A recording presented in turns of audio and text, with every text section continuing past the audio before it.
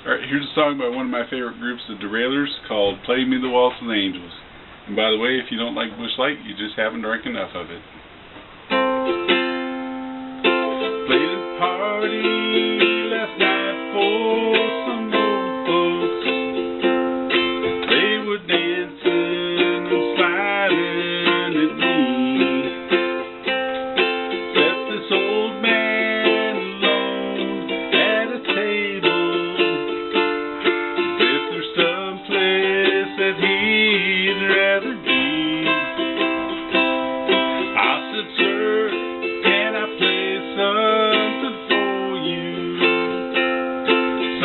special.